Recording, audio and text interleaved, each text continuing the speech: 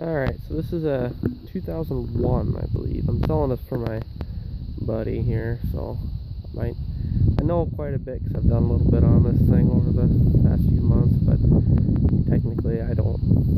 He probably knows more about it than I do. I'm just gonna go through some of the things I know about, things I figure guys probably want to see, like it running, driving, all that fun stuff. Um, 2001, I think it to be honest, I don't know the engine size. I know it's a V6. Uh, I don't know if it's 2.2. That might be something else I'm thinking of, but uh, it runs and drives fine. Uh, obviously, we got the headlights, the lights there, lights there, big one there, and they got the two in the back too. Uh, and they're all kind of powered by a little box we put in little light up switches. Obviously blue is the big one. But uh, it really does light up the road quite well. And those front ones really work well as a running light. Um, she has 248 on her, so she's getting up there in miles. Still runs and drives though. Uh, really, doesn't have any lights on or anything like that. Uh, it does leak oil profusely out of the, uh, you call it, the drain near the crankcase pan, I think, yeah. Uh, so that's he. What he did is it was leaking a little bit, so he tried taking it off and decided to get it put it back on. Well, that's obviously not not what you do. So it's it's leaking pretty bad now.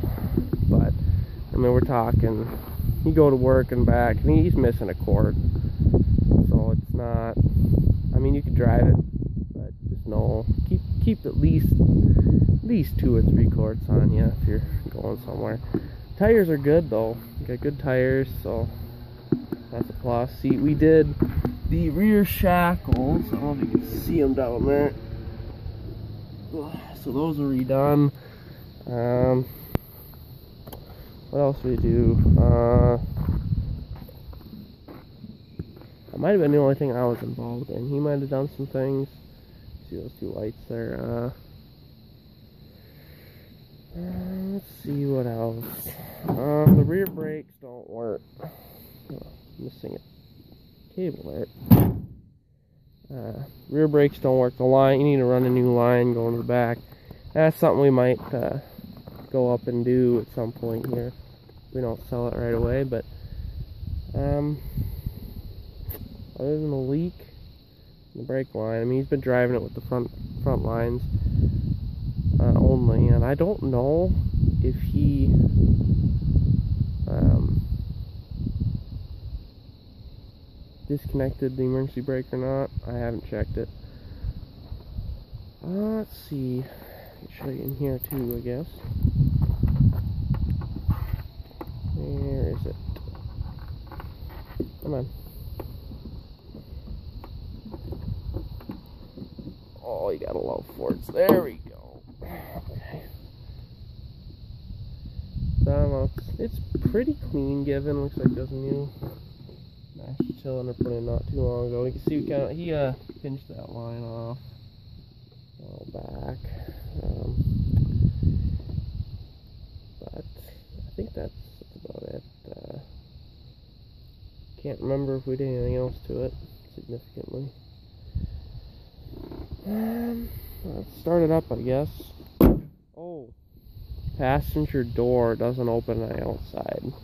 Opens on the inside, it's not the outside. I don't know if that's a common Ford thing on these or not, but oh, exhaust is kind of missing.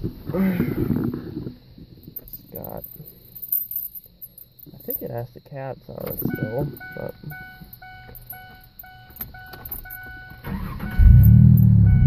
So it like fires right up and you know I got radio and such